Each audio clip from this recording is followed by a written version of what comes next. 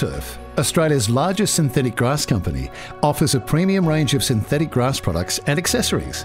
A Tuff Turf transformation gives you a low maintenance, long term, cost effective lawn that can either be installed by yourself or by one of our Tuff Turf certified installers.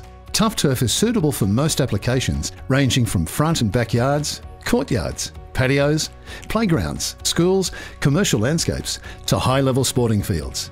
Take a few minutes to watch our instructional guide as we share with you our secrets of how best to install your Tuff Turf for a professional finish. Step 1 Area Preparation. Once you have established the area to be turfed, remove all vegetation and debris. Dig out the existing soil to a depth of approximately 100 millimetres from your surrounding finished height levels. Use a rake to level out the turf area before the crushed rock goes down. Now is a good time to mark out and install any garden edging if required. Here we have used our Tuff Edge aluminium garden edge system. Step 2. Laying the subbase. Using a road base from your local garden supply yard, spread 60 to 70 millimetres across the surface, making sure it is even and provides a slight fall away from any buildings or water drainage.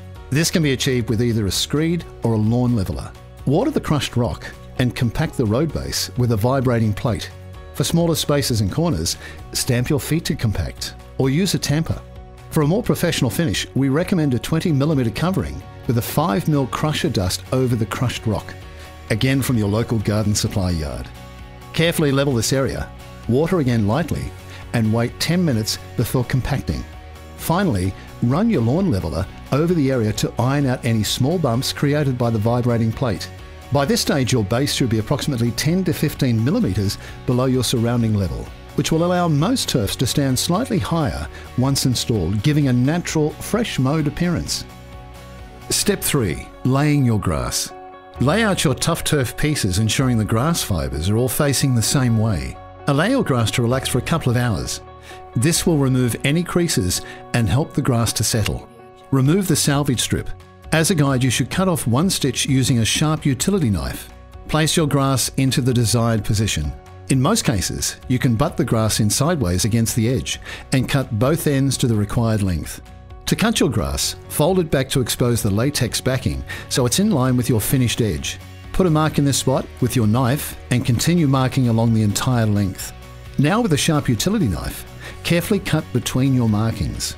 Alternatively, if you have a straight edge, you can run the blade of the knife through the grass, feeling the straight edge underneath as you go. Make sure you regularly change your blade, keeping it sharp. Step 4 Joining the grass. Joining your grass together will require Tuff Turf's adhesive joining tape or glue. Glue is recommended for colder seasons.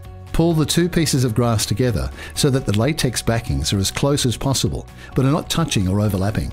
There should not be more than a 5 mil gap between the two pieces of grass. Place a marker on the join lines at both ends, then fold back both sides of the grass evenly.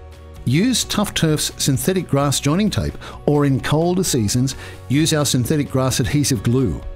To use the joining tape, roll out the tape and cut to size. Carefully peel off the foil along the entire length of the join. Then gently place both sides of the turf down on the adhesive tape from one end and carefully fold the grass over, making sure no grass fibres stick to the tape.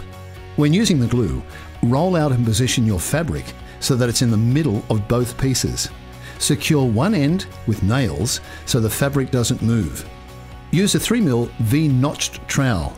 Pour a small amount of glue at the start of the tape. Use your trowel to spread the glue evenly in a light layer along the entire join. Add glue as required. Wait about 10 minutes, weather dependent, for the glue to become tacky before you fold your two pieces of grass down onto the glue. Using a Tuff Turf synthetic grass joining roller, run it along the seam continuously for a short period of time to ensure the join becomes invisible. Step 5 Securing the edges. Using Tuff Turf spikes, nail the grass down as close to the edge as possible with 300mm spacings. When nailing, Make sure you pull the fibres of the grass apart, exposing the backing, so that the spike goes through smoothly and doesn't hold any fibres down. You should not be able to see the spikes once they are in. Step 6 Adding sand infill. Sanding your grass is important to support the base of the fibres, preventing the grass from permanently lying flat. Before adding the sand infill, use a power broom or stiff bristled broom to brush the blades of grass upwards. This makes it easier to distribute the sand into the base of the grass. We recommend using approximately 10 to 15 kilograms of dried silica sand for each square metre of grass. A sand spreader or seed dropper will make the job easier and provide a more even spread. Your aim is to get the sand in between the blades of grass and not to get large volumes of sand in one spot, as this will cause lumpy grass underfoot. If you don't have a sand spreader, you can use a shovel and flick the sand out as evenly as you can. Finally, using a power broom or stiff bristled broom, brush in the sand. This will ensure an even spread of sand and push it into the base of the grass, helping to keep the grass standing up, improving the long term appearance, and reducing unnecessary wear and tear. By taking time to follow these steps, you will have an impressive looking, lush green lawn every day.